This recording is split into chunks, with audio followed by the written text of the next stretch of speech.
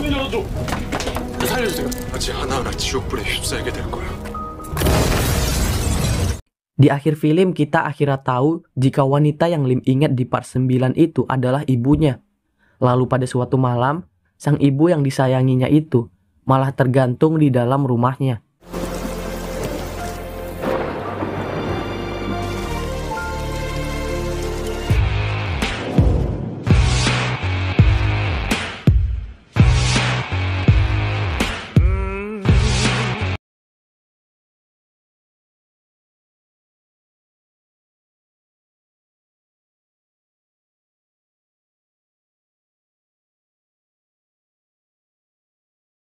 Kali ini cerita akan berfokus pada kisah Lim di masa lalu.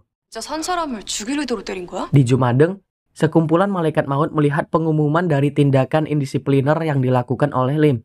Kemudian, dua malaikat maut ini mulai membahas mengenai rumor Lim di masa lalu yang katanya pernah membunuh banyak orang. Jun Wong yang mendengar perkataan mereka langsung tak terima dan menyuruhnya untuk segera bubar. 예, 살인까지 한 팀원. 네. 전생에 사람 죽이는 거 그거 직접 봤어요? 다들 안 가십니까?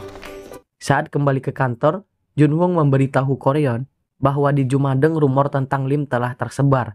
Namun Koryon tak kaget mendengarnya. Karena memang benar, Lim pernah membunuh empat orang di kehidupan sebelumnya. 정확히 말하면 넷. 아, 네. 어머니 일 때문에 그런 건 알지만 늘 참아보고 Karena Lim tidak mau membuat surat permintaan maaf atas tindakan indisiplinernya, akhirnya Lim mengajukan surat permohonan mutasi pada Ko. Junwong yang mengetahui Lim lebih memilih untuk dimutasi, kemudian membujuknya agar tetap tinggal. 대리님, 대, 대리님 진짜 저 싫어하는 거 아니었습니까?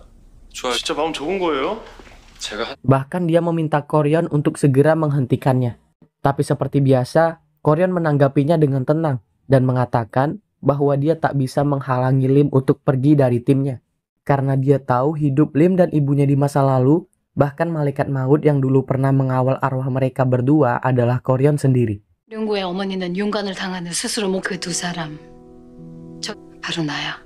그러실 분이 아니잖아요. 대체 왜? Kemudian cerita pun flashback pada kehidupan Lim sebelumnya. Lim kecil yang pulang ke rumah langsung menangis di hadapan sang ibu. Ia mengadu bahwa kedua temannya selalu mengejek namanya yang dibilang aneh. Namun sang ibu memberitahu Lim bahwa sebenarnya nama dia sangat bagus dan mulia. Karena Lim Ryunggu itu merupakan pemberian nama dari seorang biksu terbaik di tempatnya. 우리 아들 이름이 얼마나 좋은 건데 주신 스님께서 지어주셨단다 용의 구할구 어머니도 그랬을 Walau ada kesenjangan antara si miskin dan si kaya, Lim tetap merasa jika dirinya sama dengan mereka. sehingga dia meminta sang ibu untuk mengajarkannya menulis dan membaca.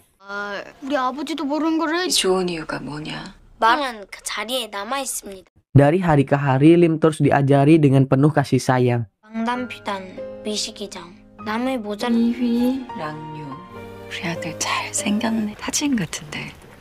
Hingga suatu malam, datang tiga orang preman yang menyuruh ibu Lim untuk pergi ke rumah sang gubernur.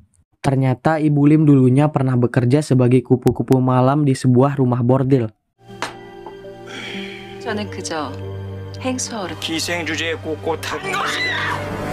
Awalnya Ibu Lim menolak untuk menuruti perintah mereka. Namun preman ini malah berteriak menghinanya. Sehingga sang ibu yang tak mau Lim mengetahuinya kemudian pergi ke rumah sang gubernur. Ternyata sang gubernur meminta Ibu Lim untuk tidur dengannya. Ibu Lim menolak karena sebenarnya alasan kenapa dia bisa berkecimpung di dunia kupu-kupu malam ini karena aksi kejinya sang ayah pada saat dirinya masih kecil. 오랜만이다 그놈아 그러니 오늘부터 매일 밤 내 침소에 들어 속에 빠져서 가산을 다 탕진 di mana awalnya Ibu Lim ini terlahir di keluarga kaya. Namun setelah ayahnya terlilit hutang, mereka jatuh miskin dan ayahnya malah menjual Ibu Lim ke rumah bordil. 가봐야겠습니다 네 아들의 기상 희휘랑요. 지금은 아닙니다 막내라도 되는 줄 아는구나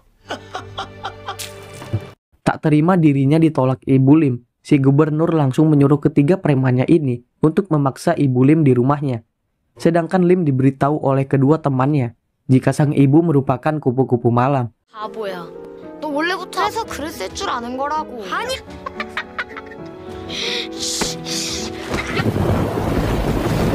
Saat pulang ke rumah, Lim melihat tiga preman yang baru keluar dari rumahnya, sehingga dia mulai yakin jika sang ibu memang bekerja sebagai kupu-kupu malam.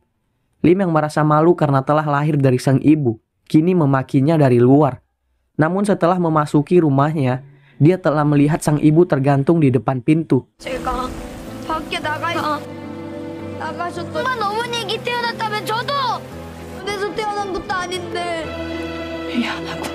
제가 밖에 나가 나가셨던 엄마 어머니에게 태어났다면 저도 그래서 태어난 것도 아닌데 미안하구나. 이렇게 심한 말로 대드는데 Beberapa tahun berlalu, Lim yang sempat mengira bahwa malam itu ibunya telah melayani tiga preman, kini diberitahu oleh sang nenek mengenai kejadian sebenarnya. 립 없을 짓만 안 했다면 마 모르고 있었던 게냐? Sehingga Lim langsung balas dendam dengan menghabisi Pak Gubernur di rumahnya dan dilanjuti dengan ketiga preman peliharaannya.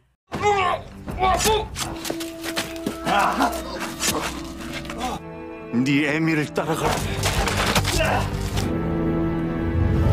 Setelah berhasil membalaskan dendam, Lim pun bunuh diri dengan mengkonsumsi obat terlarang dalam dosis tinggi.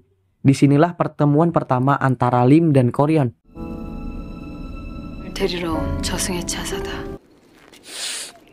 Saat mengawal arwahnya, Koryon sangat terganggu dengan suara hisapan hidung Lim karena mati akibat overdosis. Sehingga Koryon menyarankan daripada dihisap, lebih baik digaruk saja jika hidungnya terasa gatal. Dan itulah kenapa Lim selalu terlihat ngupil. 이를 뵐수 있을까요? 예, 유자 화자. 내가 저승으로 인도했다. 그는 죄.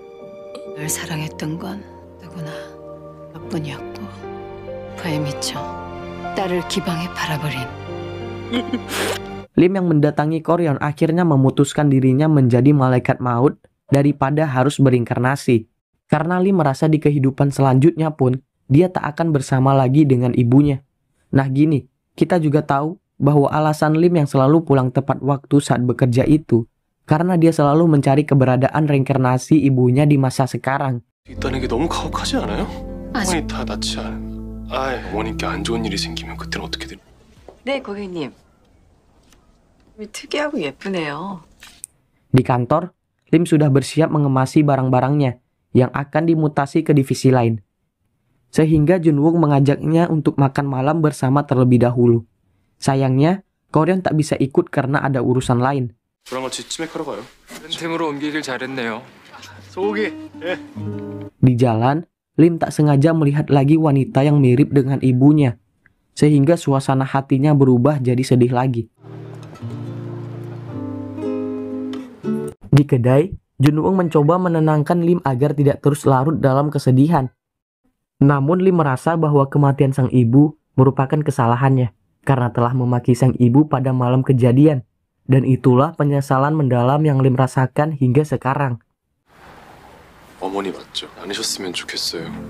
때문에 죽었거든요. 내가 죽였어요. 제 손을